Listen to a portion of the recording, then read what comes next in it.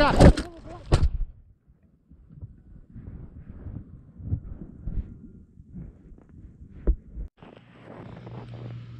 Oh shit.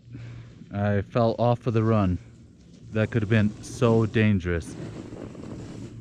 Lost my GoPro too. Luckily I didn't get hurt, but I lost my GoPro. Um, so I've just been digging this up for a long time. oh gosh.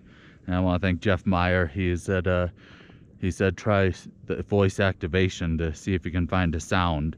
I didn't even, you know, I was in panic mode trying to just dig up everything, so I didn't even think of that but was able to isolate the beeps and end up finding it. I'm super lucky. More so that I didn't get hurt. Who cares about a GoPro if you are getting hurt snowboarding?